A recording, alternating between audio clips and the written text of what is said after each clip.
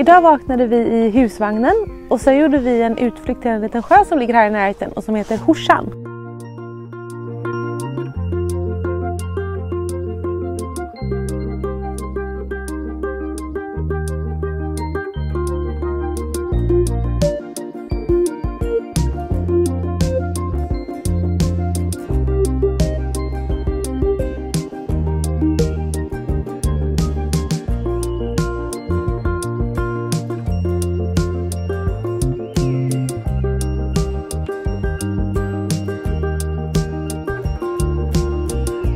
Det luktar prutt här.